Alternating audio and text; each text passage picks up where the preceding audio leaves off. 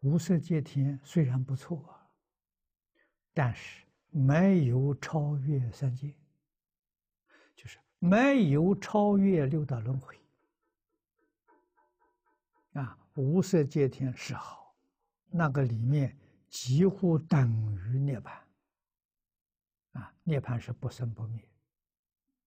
啊，它等于涅槃，不是真的涅槃。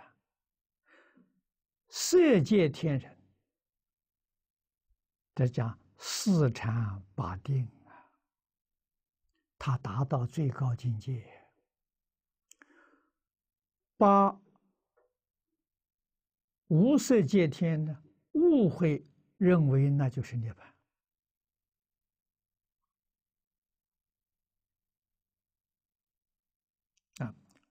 无色界天还是有寿命，寿命最长的八万大劫，这个时间是正常啊。大劫，一个大劫呢，是我们这个世界一次沉住坏空啊，可见这个世界无常啊。沉住坏空一次，叫一个一个大劫。沉住坏空八万次，你想这个时间多长？虽然长呢，毕竟有一天他会到了，啊，到这一天他定功会失掉，定功一失掉呢，烦恼就现前，啊，头一个错误的念头，啊，他误认为这个是不生不灭了。怎么又有生灭了？啊，这就会毁谤圣贤。啊，圣贤人告诉他，涅槃是不不生不灭的。他现在定功失掉了，啊，烦恼现行，哎，这个这个这个，呃，以为这些圣贤人是欺骗他们，这个念头。对圣贤大不敬呐！